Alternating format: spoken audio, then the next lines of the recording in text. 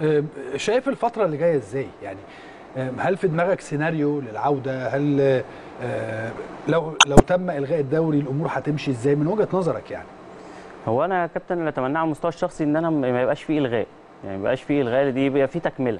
يعني يبقى فيه تكملة خصوصا بنشوف حتى ال- الفيفا بيطلع بتصريح إن إحنا هنستكمل الدوري آه لكن في نهاية فترته ال- المسموح بيها اللي هي لحد 30 6 فيمكن كنا بنشوف الدوري على مست- على مستوى سنين كتير قوي 10 15 سنة ما بينتهيش في ميعاده.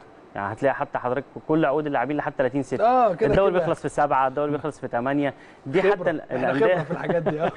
اتعلمنا كتير. آه آه. فحتى حضرتك هتلاقي حتى بيبقى في مشاكل في آه. تعاقد الأندية حتى مع المدير الفني.